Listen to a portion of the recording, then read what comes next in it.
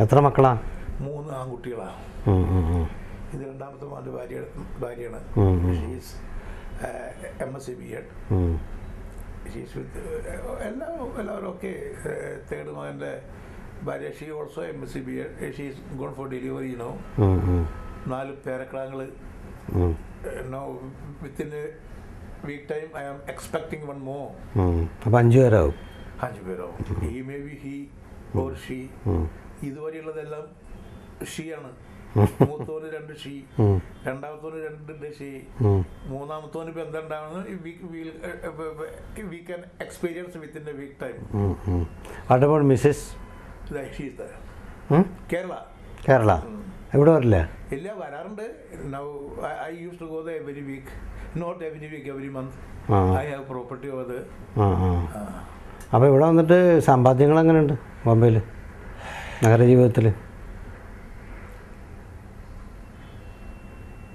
ഇടുങ്ങിയ സാമൂഹ്യനീതിയും ഇടിയ ഇടുങ്ങിയ മനോഭാവവും വെച്ച് പുലർത്തില്ല പുലർത്തുന്ന ഒരു നാട്ടിലാണ് ജനിച്ചെങ്കിലും കൂടി വളർന്നത് വിശാലമായിട്ടുള്ള ഒരു നഗരത്തിലാണ്. ആ വിശാലത you can notice in me in any way, any any kind of act. ചിലവർ ബോംബെയിൽ വന്നിട്ട് വണ്ടിക്ക് പോകാൻ കാശില്ലാതെ വന്നു കഴിഞ്ഞാൽ ഞാൻ ടിക്കറ്റ് എടുത്ത് കൊടുക്കും ഉം. ചോറുണ്ണാതെ ചോറുണ്ണാൻ കാശില്ലാന്ന് വന്ന് കരയാണ് നമ്മുടെ ഹോട്ടലിൽ വിടും ഇവിടെ ഒരു ചോറ് ഉം. Such type of social activities. അപ്പോൾ ഇതിന് ഒന്ന് നന്നാവുന്നത് വേറെ ആർക്ക് കാണാൻ പറ്റില്ല എന്നുണ്ട് അപ്പോൾ അങ്ങനെ നടക്കുന്നു. ഇപ്പൊ ഇപ്പൊ ആക്ച്വലി ഇപ്പോൾ ജോസേട്ടന്റെ എന്തൊക്കെ ബിസിനസ് നടക്കുന്നത് അപ്പോൾ now I don't do anything they all does ആര്? നമ്മുടെ നമ്മുടെ മക്കൾ. ആ ജോസേട്ടൻ അവരെ കൊണ്ട് നടത്താൻ പറ്റാത്ത വാടക വാടകയ്ക്ക് കൊടുത്തു. പ്രതിമാസം വാടക കിട്ടും. എന്റെ എന്റെ സുഹൃത്തെ ഞാൻ ഇത്രയും കൊല്ലം കാണുന്നു കാണുന്ന കാണുന്നവർക്ക് തോന്നും ജോസേട്ട് കിത്തന ബഡാ ആദ്മിയെ. പക്ഷെ അതിന്റെ യാഥാർത്ഥ്യം മറ്റൊന്നാണ്. ഞാൻ ഇതുവരെ ജീവിച്ചിട്ടില്ല. അങ്ങോട്ട് ഇപ്പം കഴിഞ്ഞു പോവായിരുന്നു. മറ്റുള്ളവർ കൊണ്ട് ജീവിക്കാറുന്നല്ലേ മറ്റുള്ളവർക്ക് ജീവിക്കാൻ വേണ്ടി ഞാൻ ജീവിക്കായിരുന്നു. അപ്പോൾ ഇനി I I feel to relax for a while and bus that's all ഈ നാൽപ്പത്തിയാറ് വർഷങ്ങൾക്ക് മുമ്പ് ജോസേട്ടൻ വന്ന് ഈ ബോംബെ നഗരത്തിൽ ഇറങ്ങിയില്ലേ? ഇപ്പോൾ തിരിഞ്ഞു നോക്കുമ്പോൾ അത് ശരിയാണെന്ന് തോന്നുന്നുണ്ടോ? കറക്റ്റ് ഡിസിഷനാണെന്ന് തോന്നുന്നുണ്ടോ? ശരിയായ തീരുമാനമാണെന്ന് തോന്നുന്നുണ്ടോ? അല്ലാണ്ട് വേറെ വഴിയില്ല. ആ. Option for me. In front of me there is no other option നാട്ടിൽ കിടന്നെങ്കിൽ ഒന്നും ആവാൻ പറ്റില്ലായിരുന്നല്ലേ? ഒന്നും ആവാൻ പറ്റില്ല.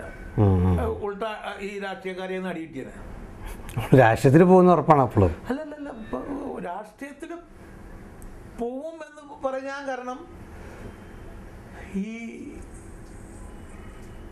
അനീതി ഞാൻ ടോളറേറ്റ് ചെയ്യാൻ പറ്റണില്ല റിയലി ടു സ്പീക്ക്.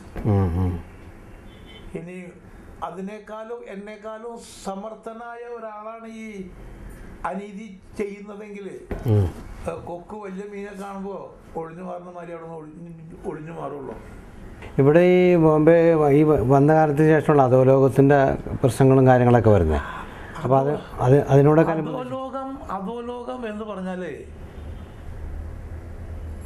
അതുമായിട്ട് ബന്ധപ്പെടുത്തുന്നവർക്ക് അത് അത് വരണുള്ളൂ. നിങ്ങൾക്ക് പോലെ കുഴപ്പമുണ്ടോ? ഞാനിവിടെ ഉള്ള ആളല്ലല്ലോ. അല്ല ആണെങ്കിൽ പോലും ഇപ്പൊ ഇപ്പൊ ഇവിടെയാണല്ലോ അല്ല ഇപ്പോഴത്തെ കാര്യം അതൊരു ഇപ്പോൾ ഇവിടെ അത്ര വലിയ പോപ്പുലർ അതായത് അവർക്ക് എഗനിസ്റ്റായിട്ട് നിങ്ങളും വിത്ത് ഹെൽപ്പ് പോലീസ്. ഇവ ഇവരുടെ എല്ലാ അറിവുകളും കവറുകളും എല്ലാം കൊടുക്കുന്നത് പോലീസുകാരാണ്. ആണോ? ഞാനിപ്പോൾ പറഞ്ഞു കഴിഞ്ഞാൽ നാളെ വരുമ്പോൾ ഞാനതിന് എങ്കിലും ഇവരൊക്കെ ആയിട്ട് തമ്മിൽ തമ്മിൽ ലിങ്ക് ഉണ്ട്. അല്ല ഇപ്പോൾ അവർ ശരിക്കും പറഞ്ഞാൽ അവർ ഒതുങ്ങിയൊക്കെയല്ലേ ഇപ്പൊ ശരിക്കും ഇങ്ങനെ ഇപ്പൊ പഴയ തലമുറ അല്ല ഇപ്പം. പഴയ ഓഫീസേഴ്സ് അല്ല. ഇപ്പൊ നല്ല ചുടുചുണിയുള്ള പിള്ളേരാണ്. ഏ? കാര്യം കാര്യം അവതാളത്തിലാന്ന് അവതാളത്തിലാണെന്ന് കണ്ടു കഴിഞ്ഞാൽ വളരെ ഷൂട്ടഡ് ആണ് ആണല്ലേ? ആ. പഴയ നോക്കിക്കൊന്നുമില്ല എന്നെ അടിച്ചോളി. Very quick action. നമ്മുടെ നാട്ടിലുമായൊരു പ്രശ്നമൊന്നുമില്ല.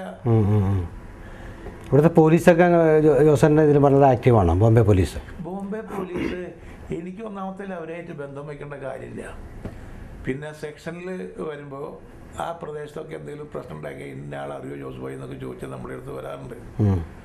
അപ്പോൾ കഴിയുന്നതും ഈ ചോട്ടാമോട്ടയിൽ നിന്നൊക്കെ ഞാൻ മാറിയിരിക്കും. പക്ഷെ സഹായം നമ്മുടെ സഹായം കൂടാണ്ട് പോലീസിന് അത് തെളിയിക്കാൻ പറ്റാത്തൊരവസ്ഥയിലാണ് നമ്മളെ സമീപിക്കുകയാണെങ്കിൽ ഞാൻ പോലീസിനെ സഹായിക്കാറുണ്ട്. അങ്ങനെ ആൾക്കാരെ അവർ അന്വേഷിക്കുന്നേക്കാളും ഭംഗിയായിട്ട് നമുക്കിരുന്ന് തന്നെ ഇൻവെസ്റ്റിഗേഷൻ അന്വേഷിക്കാലോ?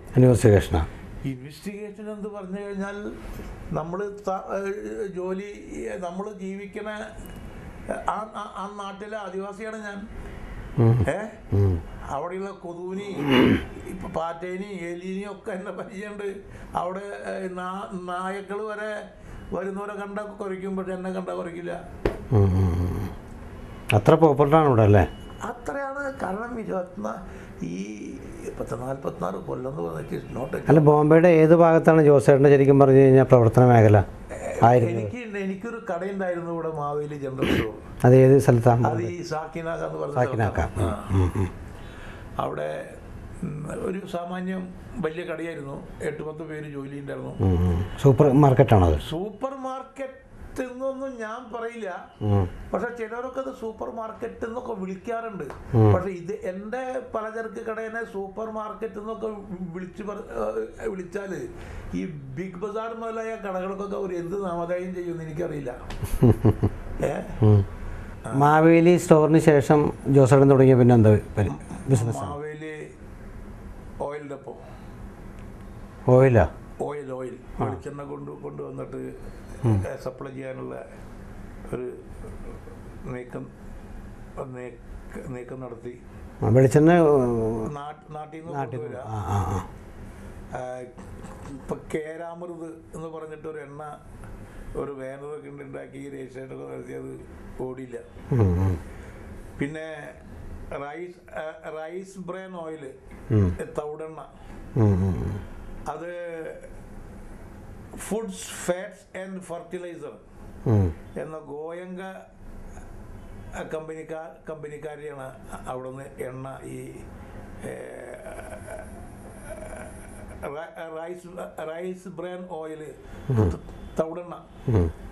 അത് കൊളസ്ട്രോൾ എന്നൊക്കെ വലിയ ഇതാണ് അത് ഇപ്പോഴും ഓടുന്നു ഓടുന്നുണ്ട് കൊണ്ടു നടക്കുന്ന ഉം, ഉം. പിന്നെ രണ്ടാമത്തെ മകൻ ഇപ്പോൾ ഈ ബി ഇ സിവിൽ എഞ്ചിനീയറിംഗ് ഡ്യൂട്ടിക്ക് പോകണു. മൂന്നാമത്തെ എഞ്ചിനീയറിംഗ് വർക്ക്ഷോപ്പ് ഉണ്ടോ? ഉണ്ട്. ഉണ്ട്. അതിന്റെ പ്രവർത്തനമൊക്കെ നോക്കുന്ന രണ്ടാമത്തെ? അതൊക്കെ ഞാൻ വാടകയ്ക്ക് കൊടുത്തിരിക്കുകയാണ്. അപ്പോൾ you do anything and give me monthly this much.